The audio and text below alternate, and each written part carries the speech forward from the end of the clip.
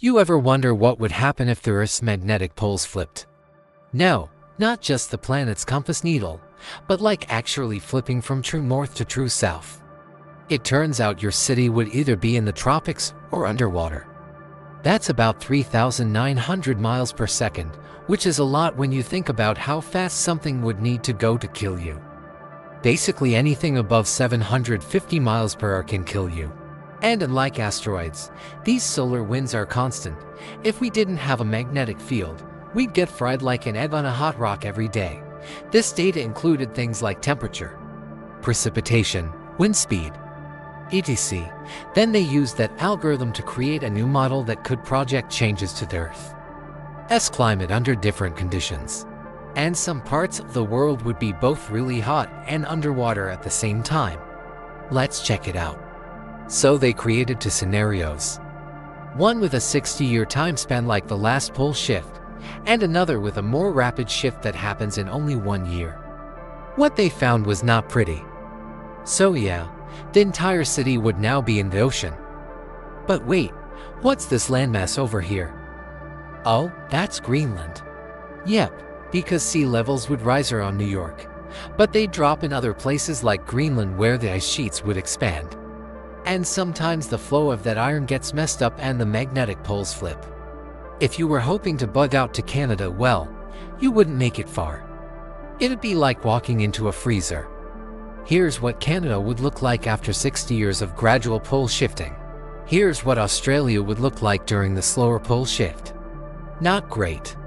Some parts of the country would be underwater while others would be absolutely scorched. See that giant sheet of ice? Yeah, that wasn't there before. Darwin would probably be abandoned due to rising sea levels and heat, while Brisbane would be buried under ice. One idea is to send a massive current through the Earth's core to reset the flow of the outer core. But the problem with that is getting a massive current through the Earth's core. We've got lots of content covering the collapse of society, the heat death of the universe, and many other topics. There's something for everyone. So check it out. Well, this map should give you a sense of it.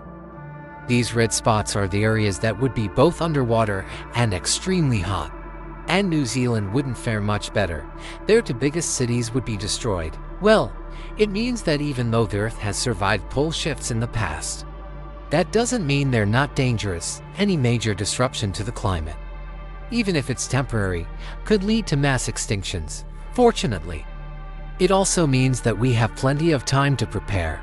Well, technically it was, but it was all floating in the ocean. Now it's on land. So maybe we can use that time to build bunkers or whatever it is rich people do to prepare for the end of the world. Or maybe we should spend that time figuring out how to reverse it. So if you're good at math or physics or whatever it is that smart people are good at, then maybe you can save the planet.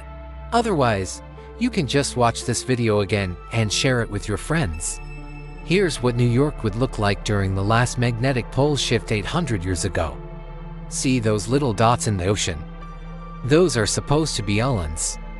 So yeah, most of New York would be underwater. That last happened about 800 years ago and took about 60 years to complete. But the thing is we don't know exactly why it happens or when it will happen again. Every major US city along the southeastern coast would be completely underwater. All we know is that the speed of light is about 186,000 miles per second. So we know it would happen quickly. Well, that one would be worse. Not only would most of Canada be under a thick layer of ice, but the ice would also extend much further south. In fact, a lot of the United States would be covered in ice. You might assume that nothing much would happen. After all, this is just a piece of metal that happens to be about 4,000 miles away. But that doesn't mean it's a walk in the park. Well, no, it turns out that part of the country would just be really hot. Here's what the temperature would look like during a one-year pole shift. Most of the US would be toast, including Las Vegas, San Francisco, Portland, and Seattle. In fact, it's been suggested that the global climate could change so dramatically that it would cause mass extinctions. But it turns out our planet's magnetic poles flipping would be quite literally the end of the world as we know it. In fact, Scientists have been worried enough about this possibility to program an artificial intelligence to simulate it. And what they I found was pretty terrifying. The Earth's magnetic field protects us from solar winds, which are basically charged particles that shoot out from the sun at over 900 miles per hour. We do have a magnetic field, but it's generated by the movement of our planet's molten iron outer core. Now there's some debate as to whether a magnetic pole flip would cause a true apocalypse, especially since it seems like life on Earth has survived it multiple times.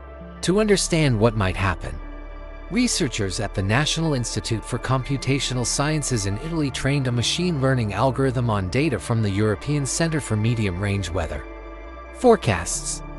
In this case, they wanted to see what would happen if the magnetic poles flipped. So let's start with the good news. And here's what New York would look like if the magnetic poles flipped in one year. Greenland isn't the only place where the ice sheets would grow. What about the pole shift that happens in just one year? But wait, let's zoom in on Florida. Yeah, sorry, but that one's gone. And it's not just Florida. But what about California? That's on the other side of the country, right? Surely it'll be okay. And don't think you'd be safe if you headed north.